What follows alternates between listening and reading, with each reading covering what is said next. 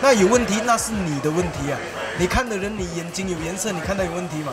你眼睛有大便，你所以你看你讲转过去都是大便嘛？对我来讲，被称为大马最具争议性的电影，原定二零一四年上映的《孟加拉杀手》，如今被定名为《孟加拉杀手二点零》，终于解禁。虽然获得解禁，但也被电检局砍了七刀。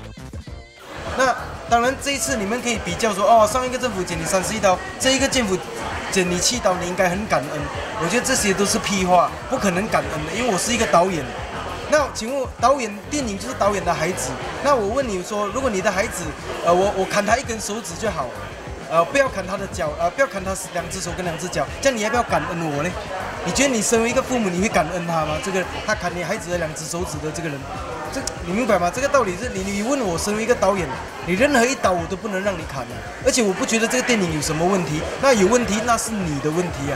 你看的人，你眼睛有颜色，你看到有问题嘛？你眼睛有大便，你所以你看讲转过去都是大便。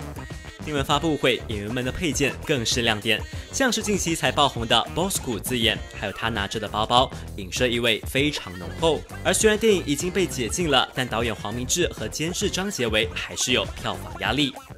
最坏的打算就是，呃，第一天，呃，我们的院线就把它拉下来了，这个是最最严重的打算哦。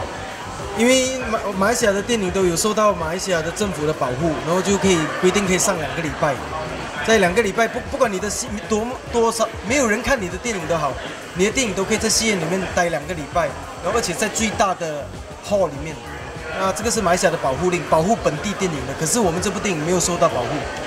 不过啊除了票房，他们还担心其他的问题。当时我们第一部电影《那是你妈》那时候呢，就受到一些种族的抗议，然后去到戏院示威，然后变成国家还那时候考虑要把它马上拉下来。这个是我觉得我最担心，我希望不会再发生的一个一个状况。《孟加拉杀手二点零》即将在二月二十八号上映，导演黄明志和监制张杰维也不忘向大家做出呼吁。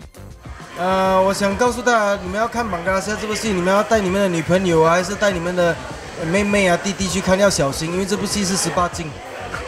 对我们被判十八禁，就被剪了七刀，再被判十八禁，然后再改我的戏名。